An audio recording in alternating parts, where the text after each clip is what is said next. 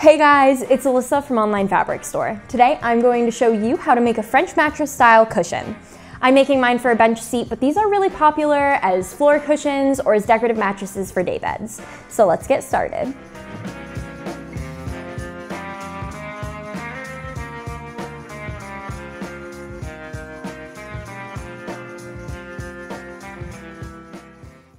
Mark and cut the foam to the size you want your cushion. Mine's going to be 17 by 36 inches.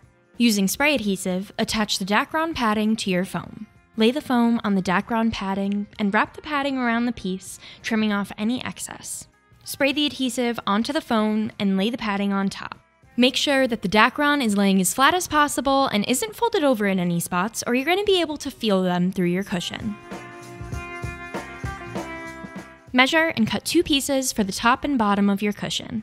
This should be the dimensions of your foam plus 1 inch for seam allowance. So I'm cutting two pieces that are 18 by 37 inches. Then measure and cut the piece that will wrap around the sides of your cushion. If your fabric is wide enough, you may be able to get away with making this one piece of fabric, but I will need four. Each of my pieces will be the length of the side they are attached to by the height of the foam, and I'll be adding one inch to both of those measurements for seam allowance. And I just wanted to point out, you don't need to make your own cushion from scratch.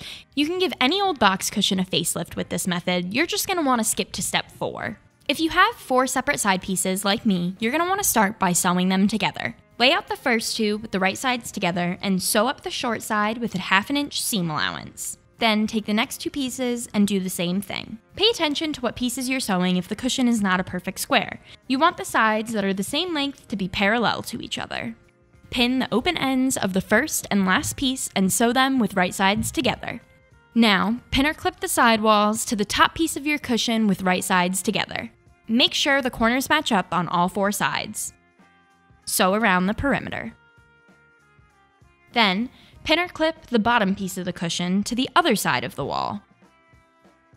You're going to want to sew around the perimeter, but leave an opening large enough to insert your foam. Turn the cushion right side out and insert the foam. Sew the opening shut using an invisible stitch. See our tutorial if you don't know how. Mark where you're going to tuft on both sides of the cushion.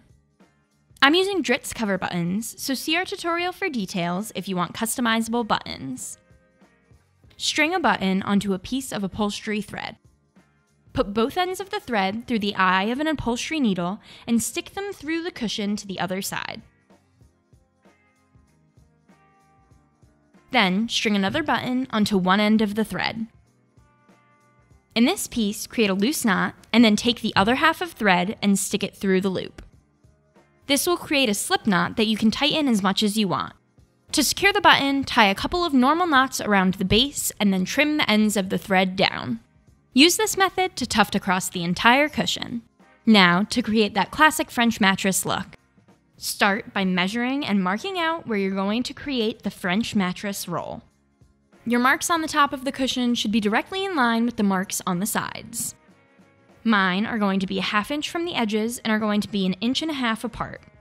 Take a piece of upholstery thread and string one side through a curved needle. Bring your needle and thread up through the side of the cushion and out the top. Then, sink the needle back into the fabric, pretty much at the same place, and come out where you originally started. Create a slip knot the same way as before and pull it tight. Then, to hide the ends of the thread, we strung them through the eye of the needle one at a time and stuck them into the cushion, coming out at a random spot.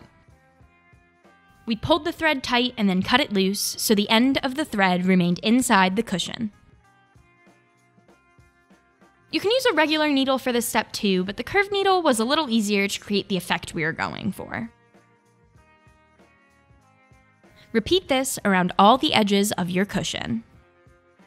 And now your mattress is complete. Thanks for watching this OFS project. Like and subscribe to our channel for more crafting videos, tips, and tricks. See you next time.